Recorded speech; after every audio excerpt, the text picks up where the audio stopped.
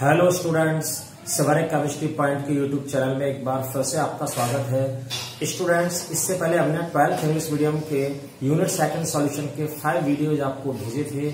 आज आपको unit number second का लास्ट वीडियोज़ देंगे और उसमें हम यूनिट सेकंड को एंड भी कर रहे हैं। अगर कुछ टॉपिक्स आपके कोई और ऐसे लगते हैं कि इनको समझना है तो जब आप कोचिंग पर आएँगे, तब उनको समझाएँगे।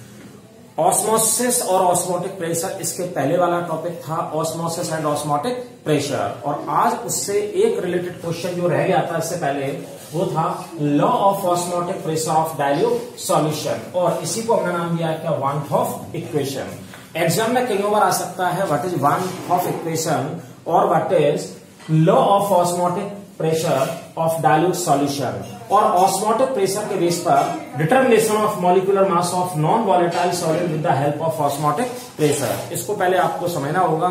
तो आज आप सबसे पहला वाला जो टॉपिक है, वो उठाएँगे law of osmotic pressure of dilute solution और van't Hoff equation van't Hoff equation actually में इलेवेंथ क्लास के आइडियल गैस इक्वेशन की तरह है। इसलिए van't Hoff equation ideal gas equation को मानते हुए हमको सॉल्व यहाँ पर करना होगा।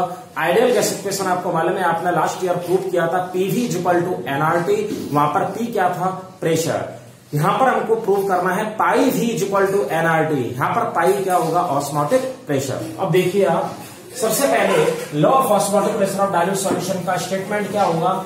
In the process of osmosis osmosis की जो प्रोसेस होगी in the process of osmosis dilute solution obeys ideal gas equation जो डायरेक्ट सॉल्यूशन है, वो आइडियल गैस इक्वेशन को ओबेज करेंगे means its osmotic pressure is directly proportional to its concentration and absolute temperature of solution. एक बार फिर पूरा statement देखिए। In the process of osmosis dilute solution obeys ideal gas equation मतलब osmosis की process में जो डायल्यूट सॉल्यूशन है, वो आइडियल गैस इक्वेशन को ओबे करेंगे। And its osmotic pressure is directly proportional to its concentration and absolute temperature of solution यानी जो सॉल्यूशन का ऑस्मोटिक प्रेशर होगा, वो डायरेक्टली प्रोपोर्शनल होगा कंसंट्रेशन के और एब्सोल्यूट टेम्परेचर के। कंसंट्रेशन और टेम्परेचर जितने जाना होंगे ऑस्मोटिक प्रेशर भी उतना ही क्या होगा? जाना। अब आप देखेंगे, अगर हमने ऑस्मोटिक प्रेशर को क्या मान लिया है? पाई।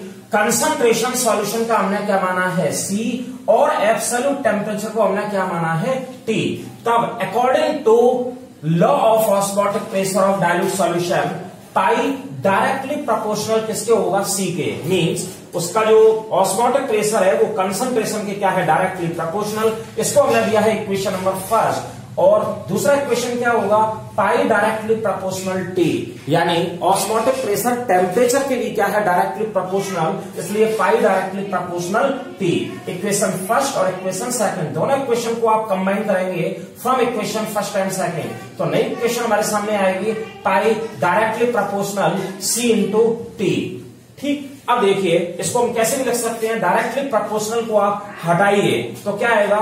Pi is equal to R C T यहाँ पर आर क्या है? हमारे पास कांस्टेंट बट सी यहाँ पर सी क्या है? कंसंट्रेशन और कंसंट्रेशन की जो वैल्यू होती है वो क्या होती है? स्मॉल एन अपॉन वी यानी moles upon volume is equal to क्या होगा? कंसंट्रेशन तो मोल्स को केमिस्ट्री में हम किससे रिप्रेजेंट करते हैं? स्मॉल एन और वॉल्यूम को किससे रिप्रेजेंट करते हैं? कैपिटल वी तो सी की वैल्यू रखेंगे. C equal to N upon V तो अब इक्वेशन का नया जो फॉर्म होगा वो क्या होगा? Pi equal to R into C की जगह पर हमने क्या रख दिया? N upon V into T V को आप इस तरफ़ ले जाएँगे तो pi V equal to N R T ये हमारे पास है van't Hoff equation means van't Hoff equation ideal gas equation की तरह है। वांट ऑफ़ इक्वेशन में आपने देखा था आइडियल इक्वेशन में हमने पाई को पी से रिप्रेजेंट करा था, लेकिन वांट ऑफ़ में हम यहाँ पर पाई मीन्स ऑस्मोटिक प्रेशर तो हमारे पास हो गया है law of osmotic pressure of dilute solution और वन ऑफ़ इक्वेशन एग्ज़ाम में अगर आता है what is van't Hoff equation prove that pi equal to NRT तब आपको यहाँ तक इसको सॉल्व करना होगा। लेकिन यदि वो पूछते हैं हमसे determination of molecular mass of non volatile solid with the help of osmotic pressure हमारे पास अभी तक टोटल कॉलिगेटिव प्रॉपर्टीज़ कितनी थी? फोर इसके पहले आपने दो कॉलिगेटिव प्रॉपर्टीज़ में एम बी यानी molecular mass of non volatile solute को निकाला था, वो तो कौन सी थी? Elevation boiling point and depression freezing point लेकिन आज ऑस्मोटिक प्रेशर की हेल्प से हम एम बी यानी मॉलिक्यूलर मास को किस तरीके से डिटरमाइन करेंगे, ये भी आपको यहाँ पर उसकी इक्वेशन बनाना होगी। देखिए determination of molecular mass of non volatile solute with the help of osmotic pressure तो अभी आपने देखा था अकॉर्डिंग टू वन हॉफ हमने क्या निकाला था? पाई भी इक्वल टू एनआरटी मतलब इक्वेशन क्या थी? वन हॉफ की। पाई भी इक्वल टू एनआरटी यहाँ पर आपको मालूम था पाई यहाँ पर क्या था? ऑस्मोटिक प्रेशर वी क्या था? वॉल्यूम एन यहाँ पर क्या है? नंबर ऑफ़ मोल्स और आर यहाँ पर क्या था? कांस्टेंट और टी क्या था? हमारे पास टेम्परेचर अब हमको यहाँ पर क्या निकालना है? Number of moles of non volatile solute तभी आप क्या निकाल पाएँगे? Molecular mass of non volatile solute तो एन निकालना है आपको तो एन को आप इक्वल में ले आइए तो एन को इक्वल में लाया तो N is equal to pi भी upon R into P ये हमारे पास हो गया।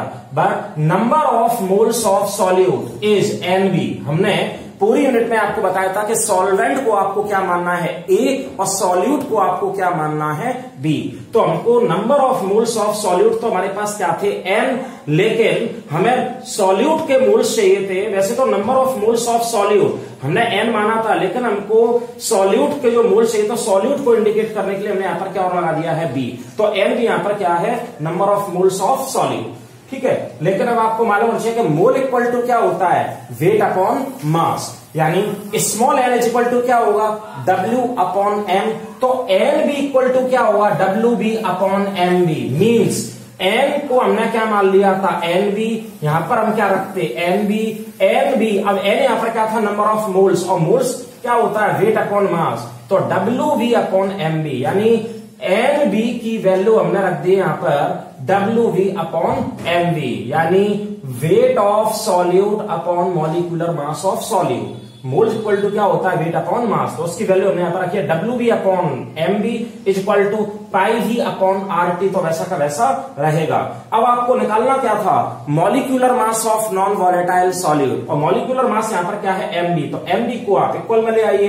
एम बी इक्वल टू क्या होगा? M B M B equal to हमारे पास आएगा W B into R into T upon pi into V अगर आपको इन सभी जो हमारे पास यहाँ पर वैल्यू है, उन, जितनी भी हमारे पास यहाँ पर W B R T pi और वी इन सभी की वैल्यू अगर आपको मालूम हो, तब आप बड़ी आसानी के साथ molecular mass of non volatile solute को फाइंड कर सकते हैं। तो आज हमारे पास ये पहला टॉपिक था, जिसका नाम क्या था? Law of osmotic pressure of dilute solution मतलब ऐसे ही पूछा सकता है वांट ऑफ़ इक्वेशन ज़्यादातर किसके बेस पर पूछा गया है वो? Van't Hoff equation what is van't Hoff equation how can you determine molecular mass of non volatile solid with the help of osmotic pressure तो ये दोनों को आपको करना होगा डेरिवेशन के थ्रू अब इसके बाद हम आपको नेक्स्ट पार्ट पर ले जाएँगे, जिसका नाम है राउल्स लॉ राउल्स लॉ को और देखिए आप। तो वन ऑफ़ इक्वेशन के बाद अब इस यूनिट का एक और टॉपिक है, जो कि छूट गया था पहले। उस टॉपिक का नाम है Raoult's law. Raoult's law very very important Raoult's law for binary solution containing non volatile solute बहुत सारे राउल्स लॉ, कई टीचर बताते हैं, लेकिन आप इसी वाले राउल्स लॉ का ध्यान रखिए। हमारे सिलेबस में ये वाला राउल्स लॉ है। Raoult's law for binary solution containing non volatile solute in a volatile solvent Raoult's law है क्या? राउल्स लॉ को समझने से पहले आप एक बाइनरी सॉल्यूशन बनाइए। बाइनरी सॉल्यूशन, कैसा बाइनरी सॉल्यूशन? जो दो कंपोनेंट से मिलकर बना है सॉल्वेंट एंड सॉल्यूट लेकिन उसमें सॉल्वेंट कैसा है? वॉलेटाइल और सॉल्यूट कैसा है? नॉन वॉलेटाइल समझिए, हमारे पास ये एक बीकर है। इस बीकर में मैंने एक नॉन वॉलेटाइल सॉल्वेंट ले लिया लाइक वाटर और इसमें जो ब्लैक राउंडेड पार्टिकल्स दिखाई दे रहा है, वो किसके हैं? नॉन वॉलेटाइल सॉल्यूट के। एक वॉलेटाइल सॉल्वेंट में नॉन वॉलेटाइल सॉल्यूट को होमोजीनियसली डिजोल्व करके हमने एक सॉल्यूशन तैयार किया है, जो है हमारे पास एक बाइनरी सॉल्यूशन अब आप देखिए, इस सॉल्यूशन को यदि हमने एक प्लेट से ढक दिया तो इसमें वेपर्स किसकी बनेंगी? अब आप सोचिए, वेपर्स किसकी बनेंगी? वेपर्स इसमें बनेंगी केवल किसकी? वॉलेटाइल सॉल्वेंट की। क्यों? क्योंकि सॉल्यूट तो कैसा था? Non volatile non volatile mean जो वेपोराइज ना हो।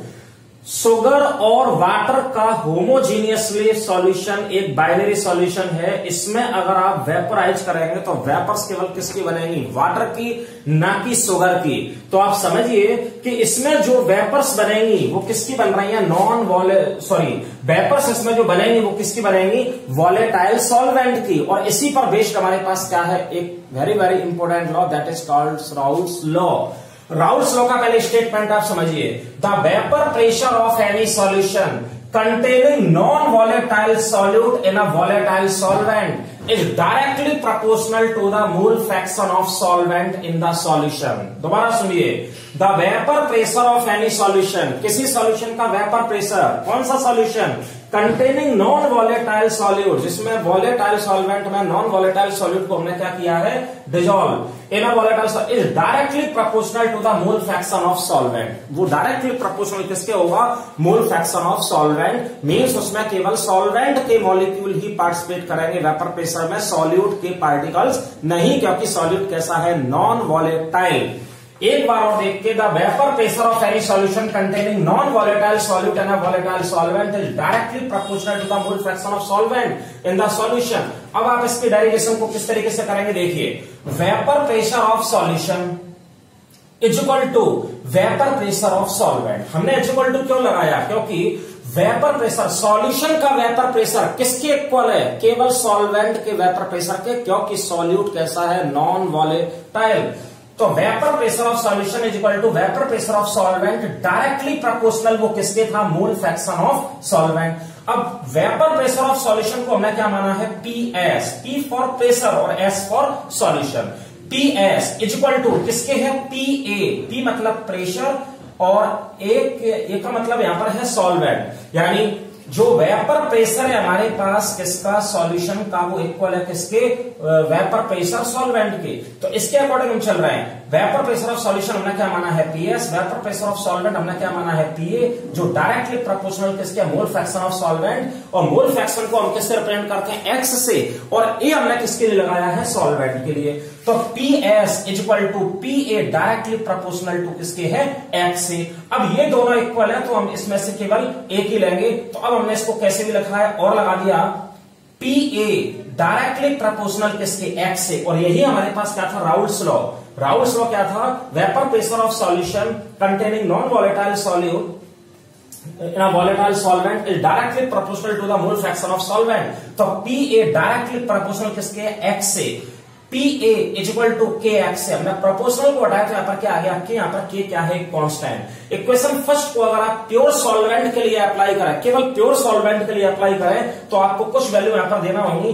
Mole fraction of pure solvent X A को हमने क्या माना है? वन यानी मोल फ्रैक्शन प्योर सॉल्वेंट। अभी हमने ऊपर उसको क्या लिया था? एक्स ए अब प्योर सॉल्वेंट के लिए अगर आप उसको अप्लाई कर रहे हैं मींस अगर इक्वेशन नंबर फ़र्स्ट को आप प्योर सॉल्वेंट के लिए अप्लाई करें, तब हमने एक्स ए की वैल्यू एक्स ए को हमने क्या माना है? वन एक्स ए की वैल्यू हम क्या मान रहे हैं? वन और vapour pressure of pure solvent P A को हमने क्या माना है? P A not P A तो हमारे पास क्या था? वेपर प्रेशर ऑफ़ सॉल्वेंट और पी ए नॉट क्या है? प्योर सॉल्वेंट का वेपर प्रेशर तो P is equal to P A not अब आप क्या करेंगे? इन वैल्यूज़ को उठा के इक्वेशन नंबर फ़र्स्ट में पुट कर दीजिए। देखिए इक्वेशन फ़र्स्ट क्या था? पी ए तो पी ए की बजाय हमको क्या रखना है? पी ए नॉट क्योंकि प्योर सॉल्वेंट के लिए उसको अप्लाई करेंगे आप। देखिए P A not is equal to K की जगह के और एक्स को हमने क्या माना है वन। तो P A not is equal to K into one K का वन में इंटू होगा तो हमारे पास क्या आया? के तो अब हमारे पास नेक्स्ट इक्वेशन क्या होगा? P A not is equal to K equation number हमारे पास क्या है? सेकंड सेकंड इक्वेशन में आपको किसकी वैल्यू मिली है? के की। के की वैल्यू को सेकंड से उठा के इक्वेशन नंबर फ़र्स्ट में पुट कर दीजिए और जो आपके पास इक्वेशन आएगा वो क्या होगा? Mathematical expression for Raoult's law तो देखिए putting value of K in equation first equation first हमारे पास ये थी, इसमें हमारे किसकी वैल्यू मिल गई है के की। के की वैल्यू हमको क्या मिली है? पी ए नॉट अब आप देखिए पी ए ये क्वेश्चन नंबर फ़र्स्ट में पी ए की जगह P A is equal to K की जगह पर आपने क्या पुट किया है? पी ए नॉट क्योंकि क्वेश्चन नंबर सेकंड में आपको उसकी वैल्यू मिली है इंटू एक्स ए तो ये हमारे पास राउल्स लॉ का क्या है? मैथमेटिकल एक्सप्रेशन तो अब राउल्स लॉ को आप क्या भी बोल सकते हैं? Hence the vapour pressure of solution containing non volatile solute is equal to the product of vapour pressure of pure solvent ये प्योर सॉल्वेंट का वेपर प्रेशर और एंड इट्स मोल फ्रैक्शन यानी vapour pressure of solution containing non volatile solute ऐसे solution का vapour pressure जिसमें non volatile solute को आपने dissolve किया है, वो किसके इक्वल होगा? Product of vapour pressure of pure solvent और मोल फ्रैक्शन का प्रोडक्ट के क्या होगा? इक्वल हमारे पास क्या था? Raoult's law. राउल्स लॉ आपको नोट्स में भी दिया उसको पढ़ के समझने की और कोशिश करें। राउल्स लॉ के बाद, अब आप देखेंगे हमारे पास इस यूनिट के अब जो छोटे छोटे टॉपिक चल रहे हैं आइडियल नॉन आइडियल सॉल्यूशन क्या होते हैं? फिर नॉन आइडियल के दोनों टाइप एंड आफ्टर एक और इसमें टॉपिक है एजियोट्रॉपिक मिक्सचर एजियोट्रॉपिक मिक्सचर अगर आपको आज नहीं भी बता पाए तो उसके बाद हम बाद में भी कर लेंगे। लेकिन ये ज़रूरी है कि what is ideal and non ideal solution ideal और नॉन आइडियल सॉल्यूशन क्या है? अब आप इनको बोर्ड पर देखिए। तो राउल्स लॉ के बाद अब आप नेक्स्ट टॉपिक पर जाएँगे, जिसका नाम है ideal and non ideal solution अभी हाल ही में 2020 के फाइनल एग्ज़ाम में भी वाला क्वेश्चन पूछा गया है। Ideal and non ideal solution very very important ideal non ideal solution जो आपको नोट्स दिए हैं, उनमें पहले आइडियल और नॉन आइडियल सॉल्यूशन है क्या? उनके करेक्टरिस्टिक्स दिए हैं। फिर उनमें डिफरेंस दिए हैं। लेकिन मैं आपको एक डिफरेंस के बेस पर ideal and non ideal solution को आज समझाऊँगा। आइडियल और नॉन आइडियल सॉल्यूशन और फिर नॉन आइडियल सॉल्यूशन के भी दो पार्ट है। Non ideal solution which represent positive deviation and non ideal solution which represent negative deviation तो ये पूरा मैटर है क्या? देखिए, सबसे पहले आइडियल सॉल्यूशन और नॉन आइडियल सॉल्यूशन अगर आपने इनको कर लिया तो इनके बेस पर आप इनके करेक्टरिस्टिक्स को, इन्हीं जो पॉइंट्स है डिफरेंस के इनको करेक्टरिस्टिक्स में कन्वर्ट करके अलग अलग मैटर भी बना सकते हैं।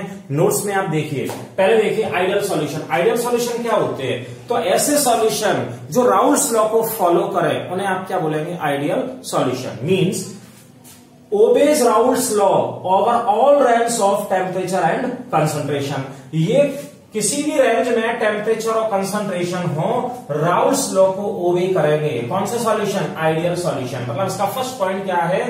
These solution obeys Raoult's law over all ranges of temperature and concentration कोई भी कंसंट्रेशन और टेम्परेचर की रेंज हो, उस पर ये सॉल्यूशन राउल्स लॉ को फॉलो करेंगे। राउल्स लॉ का इक्वेशन जस्ट इसके पहले आपने बनाया था। P A is equal to P A not into X से और अगर सॉल्यूट के लिए देखो तो PB is equal to PB not into X B मतलब फ़र्स्ट पॉइंट इसमें क्या होगा? ये solution they do not obeys Raoult's law over all range of temperature and concentration ये राउल्स लॉ को फॉलो करेंगे ही नहीं। कहीं ना कहीं मिस्टेक आएगी और वो मिस्टेक है किस वजह से है, वो आप अभी नीचे के पॉइंट्स में देखेंगे। इसलिए ये राउल्स लॉ को फॉलो नहीं कर रहे तो वो इक्वेशन में नॉट इक्वल टू करना पड़ेगा। P A not equal to P A not into X and PB not equal to PB not into X B दूसरा interaction between the components of solution are of the same order of those in the pure components मतलब जब आपने दोनों components को मिलाया solvent और solute solvent और solute को जब आपने मिक्स किया तो सॉल्वेंट के जो मॉलिक्यूल्स के बीच में जो इंट्रैक्शन थे और सॉल्यूट के मॉलिक्यूल के बीच में जो इंट्रैक्शन थे सेम वही इंट्रैक्शन सॉल्वेंट और सॉल्यूट के मॉलिक्यूल्स के बीच में बनेंगे, कोई चेंजेस नहीं आएँगे. Means interaction between the components of solution are of the same order those in the pure components मतलब जो कॉम्पोनेंट्स के बीच में जो इंट्रेक्शन थे, वही इंट्रेक्शन सॉल्वेंट और सॉल्यूट के बीच में बनेंगे। इनमें ऐसा नहीं होगा। जो सॉल्वेंट और सॉल्यूट के बीच मॉलिक्यूल्स के बीच में जो इंट्रेक्शन थे सॉल्वेंट सॉल्वेंट के मॉलिक्यूल के बीच में जो इंट्रैक्शन थे, सॉल्यूट और सॉल्यूट के मॉलिक्यूल के बीच में जो इंट्रैक्शन थे, वो इंट्रैक्शन सॉल्वेंट और सॉल्यूट के मॉलिक्यूल्स के बीच में नहीं बनेंगे मींस कुछ ना कुछ चेंज होगा। इसमें क्या होगा? जो एंथैल्पी चेंज है, वो सॉल्वेंट और सॉल्यूट को मिक्स करने पर क्या आएगी ज़ीरो। मतलब जब आप सॉल्वेंट में सॉल्यूट को डिजोल्व करेंगे तब जो एंथैल्पी चेंज है, वो क्या आएगा? ज़ीरो मतलब सॉल्यूशन ना तो अचानक से गर्म होगा और ना अचानक से क्या होगा? ठंडा।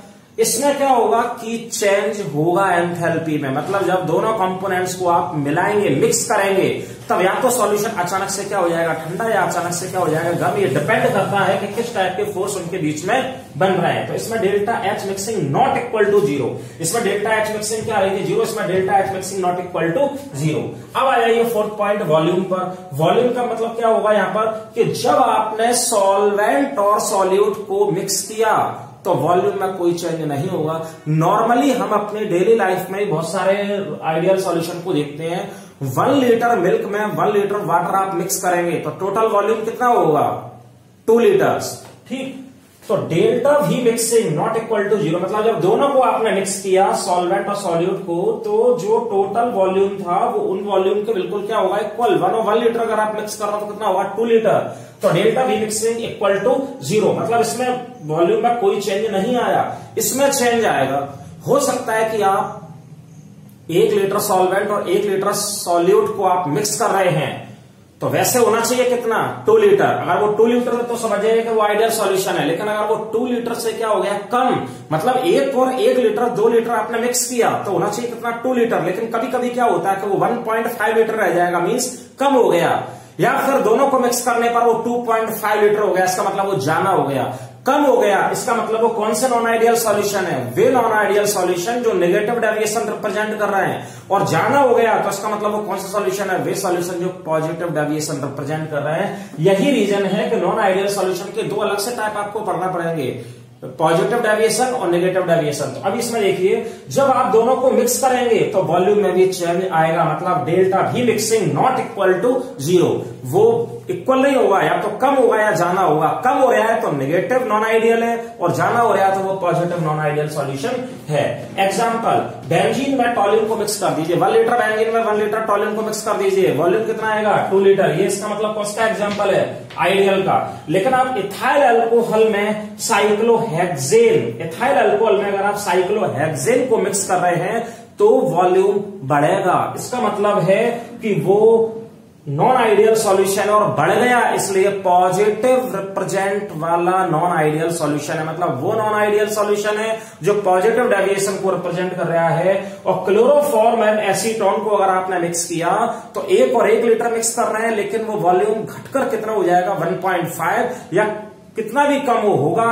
कम। इसका मतलब वो कौन सा सॉल्यूशन है? ऐसे नॉन आइडियल सॉल्यूशन जो नेगेटिव डेविएशन को क्या कर रहे हैं? रिप्रेजेंट तो हमारे पास आइडियल और नॉन आइडियल सॉल्यूशन है, जिनमें दोनों में डिफरेंस और इनके बेस पर आप इनमें डिफरेंस भी लिख सकते हैं, इसके बेस पर आप इनके अलग अलग करेक्टरिस्टिक्स भी शो कर सकते हैं। मतलब आइडियल सॉल्यूशन क्या होगा? ऐसे सॉल्यूशन जो राउल्स लॉ को फॉलो करे ideal solution there are following characteristics in ideal solution और ये पाँचों करेक्टर बना के लिखिए। नॉन आइडियल है तो ऐसे सोल्यूशन जो राउल्स लॉ को फॉलो ना करें that is non ideal solution और इनके करेक्टरिस्टिक्स ये विद एग्जांपल इस तरीके से हो जाएगा। लेकिन अब परेशानी ये है कि नॉन आइडियल सॉल्यूशन के लिए हमारे पास दो टाइप होते हैं जो कि आपको नोट्स में देख के पढ़ना है। इसको केवल मैं एक या दो मिनट आपको दूँगा। थोड़ा सा समझाने के लिए नोट्स में से आप पढ़ेंगे। आपने वैसे भी यहाँ पर देख लिया होगा कि जिसमें सब कुछ बढ़ रहा है मतलब डेल्टा एच मिक्सिंग एंथेल्पी दोनों को मिक्स किया एंथेल्पी मतलब सॉल्यूशन अचानक से गर्म हो गया। इसका मतलब उसका क्या हो गया? एंथेल्पी बढ़ गई। या दोनों को आपने मिक्स किया, और अगर सॉल्यूशन ठंडा हो गया तो मतलब एंथेल्पी क्या हो गई? कम हो गई। दोनों को आपने मिक्स किया वॉल्यूम बढ़ गया। दोनों को आपने मिक्स किया वॉल्यूम कम हो गया। जिसमें सब कुछ बढ़ रहा है, वो क्या है? ऐसे नॉन आइडियल सॉल्यूशन जो पॉजिटिव डेविएशन रिप्रेजेंट कर रहा है, जिसमें सब कुछ कम हो रहा है, वो ऐसे सॉल्यूशन जो नेगेटिव डेविएशन को रिप्रेजेंट कर रहे हैं। अब ये पॉजिटिव और नेगेटिव डेविएशन रिप्रेजेंट किस तरीके से करेंगे? इसको मैं आप एक छोटे से एग्ज़ाम्पल के बेस पर समझाऊँगा। आपको ध्यान रखना है कि इसको डिटेल नहीं पढ़ा पाएँगे। टाइम की कमी है। टाइम की हमारे पास बहुत कमी है। आज हमको लास्ट वीडियो करना है इस यूनिट का, क्योंकि हम नेक्स्ट यूनिट को स्टार्ट करेंगे। तो इसलिए आपको नोट्स में से देख के करना होगा जब आप आएँगे और कोई आपकी, उसमें कोई डाउट्स हैं तो वो ज़रूर क्लियर करेंगे। बकाया आपको उन दोनों के डिफरेंस तो उसी से करना पड़ेगा। मैं बता देता हूँ कि किस तरीके से ये कब या जाना होते हैं, देखिए। तो आइडियल नॉन आइडियल सॉल्यूशन के बाद जो नॉन आइडियल सॉल्यूशन के दो टाइप थे पॉजिटिव और नेगेटिव डेविएशन वाले, उनको देखिए। Non ideal solution which represent positive deviation non ideal solution which represent negative deviation positive deviation mean सब कुछ इंक्रीज होगा वॉल्यूम इंक्रीज होगा, उनकी एंथैल्पी इंक्रीज होगी और निगेटिव में ये सब कुछ क्या होगा? डिक्रीज माना कि हमारे पास एक बहुत ही कम में शॉर्ट में समझने की कोशिश करना है, केवल कि वो इंक्रीज हुए क्यों? आपके माइंड में होगा कि कैसे इंक्रीज हुए? एक और एक लीटर को मिलाया तो होना चाहिए करना टू लीटर लेकिन वो ढाई लीटर कैसे हुआ? या एक और एक लीटर को मिलाने पर दो लीटर होना चाहिए, लेकिन वो डेढ़ लीटर कैसे हुआ? इस पर ध्यान दें।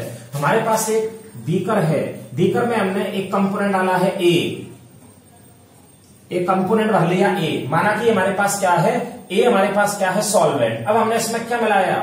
सॉल्यूट और सॉल्यूट हमारे पास क्या था? बी जैसे हमने इसमें बी को मिलाया बी को मिलाने से बी जैसे इसके अंदर गए तो बी के पार्टिकल्स या बी के मॉलिक्यूल ए के बीच में जाके ए के जो एट्रैक्शन फोर्स है या ए और ए के बीच के जो अट्रैक्शन फोर्स हैं, उनको क्या कर देंगे? तोड़ देंगे। और जैसे ये टूटेंगे तो ए और ए सभी कुछ क्या हो जाएँगे? थोड़ा थोड़ा दूर। मतलब जैसे ये अट्रैक्शन फोर्स ए और ए के बीच के टूटे तो ये दूर दूर हो जाएँगे। यानी ए हमारे पास था हैंड की तरफ़ ध्यान दीजिए। ये हमारे पास ए था। ए मतलब सॉल्वेंट हमारे पास ये था। ए सॉल्वेंट ए था। इस इतनी दूरी पर थे। ए दो, फिर ऐसे बहुत सारे ए थे, लेकिन जैसे हमने इसमें बी मिलाया तो बी ए के बीच में जाके इनके बीच के अट्रैक्शन फोर्स को क्या कर देंगे कम? और पहले इनकी डिस्टेंस इतनी थी, अब इनके, इनकी डिस्टेंस क्या हो जाएगी? इंक्रीज होती जाएगी। मतलब इनके बीच के जो इंट्रैक्शन थे, वो टूट जाएँगे, जिससे सारे मॉलिक्यूल दूर दूर हो जाएँगे। मॉलिक्यूल दूर होंगे तो वो वॉल्यूम को भी क्या करेंगे? बढ़ाएँगे। तो आप समझ गए होंगे वॉल्यूम जैसे मॉलिक्यूल के बीच का फोर्स टूटा मॉलिक्यूल्स जाना जगह को घेरेंगे, जाना स्पेस को वो ऑक्यूपाई करेंगे मतलब उनका वॉल्यूम क्या हो जाएगा? इंक्रीज वॉल्यूम इंक्रीज हुआ। जब ये बॉन्ड टूटे थे तो कुछ एनर्जी यहाँ पर क्या हुई? इवोल्व हुई। उस एनर्जी की वजह से सॉल्यूशन क्या हो गया? गर्म हो गया। मतलब उसकी एंथैल्पी भी क्या हो गई? इंक्रीज इस तरीके से इसमें सब कुछ क्या होगा? इंक्रीज वॉल्यूम इंक्रीज हुआ। इंट्रैक्शन फोर्स टूटे इंट्रैक्शन फोर्स टूटने से इनके वेपराइज होने की टेंडेंसी भी इंक्रीज हो गई, इनकी एंथैल्पी इंक्रीज हुई, इनका वॉल्यूम इंक्रीज हुआ, इनका वेपर प्रेशर इंक्रीज हुआ, इसमें सब कुछ क्या हो रहा है इंक्रीज लेकिन इसमें जस्ट क्या होगा उल्टा? जब आपने ए ये हमारे पास क्या था? ए और ए में जैसे ही आपने कोई सॉल्यूट यानी बी को क्या किया? डिजोल्व तो बी जैसे इसमें गया तो बी ने क्या किया? इनके बीच में जाके और जो ए थे, उनको और जाना क्या कर दिया? स्ट्रॉन्ग फोर्स उनके बीच में बनाया। मतलब जैसे ही वो दोनों मिले तो पहले कंडीशन ये थी ए ए के बीच में ये गैप था, दो ए के बीच में। लेकिन जैसे ही बी गया तो बी ने क्या किया कि ए को स्ट्रांगली अपनी तरफ़ क्या किया? अट्रैक्ट और सब जितने भी पार्टिकल्स थे, वो एक दूसरे कहाँ पर आते जाएँगे। पास पास आने से वॉल्यूम क्या हुआ? डिक्रीज टू लीटर होना था, लेकिन अब इतने कंजेस्टेड हो गए मॉलिक्यूल इतने स्ट्रॉन्ग फोर्स उनके बीच में मैंने कि वो काफ़ी पास आ गए और उनका वॉल्यूम क्या हो जाएगा? डिक्रीज वॉल्यूम डिक्रीज हुआ। फोर्स पहले से, अब इसमें फोर्स टूटे थे, इसमें फोर्स स्ट्रांगली बने तो वेपोराइज होने की कंडीशन भी क्या हो गई? डिक्रीज वेपोराइज होने की कंडीशन डिक्रीज हुई। यहाँ पर आपके वॉल्यूम डिक्रीज हो गया वॉल्यूम डिक्रीज होने के साथ साथ यहाँ पर एंथैल्पी भी क्या होगी डिक्रीज तो आप देखेंगे कि सब कुछ इसमें क्या हो रहा है डिक्रीज इसलिए हमारे पास क्या होंगे? Non ideal solution which represent negative deviation तो पॉजिटिव और नेगेटिव डेविएशन के सारे पॉइंट्स नोट्स में बहुत अच्छी तरीके से हैं। इनको जाना समय दे नहीं पाया वीडियो लंबा होगा, हमको भेजने में भी दिक्कत होती है। इसलिए इनको शॉर्ट में समझाया, अगर इसमें कोई दिक्कत हुई तो आपको बताएँगे। इसके बाद आप एक टॉपिक को ज़रूर पढ़ेंगे और वो टॉपिक हमारे पास कौन सा है? एजियोट्रॉपिक मिक्सचर एजियोट्रॉपिक मिक्सचर के बारे में भी आपको थोड़ा सा बता रहे हैं, उसको और आप देख लीजिए। आज का लास्ट टॉपिक हमारे पास है एजियोट्रॉपिक मिक्सचर एजियोट्रॉपिक मिक्सचर और कांस्टेंट बॉइलिंग मिक्सचर आप समझ गए होंगे दूसरे नाम से कांस्टेंट बॉइलिंग मतलब मिक्स होने के बाद एक ऐसा बॉइलिंग पॉइंट बन जाएगा जो कैसा होगा कांस्टेंट तो इसको समझने की कोशिश करें। हमारे पास सॉल्यूशन के दो कंपोनेंट्स हैं ए एंड बी हमारे पास दो कंपोनेंट्स हैं A B solvent solute A का बॉइलिंग पॉइंट कितना है?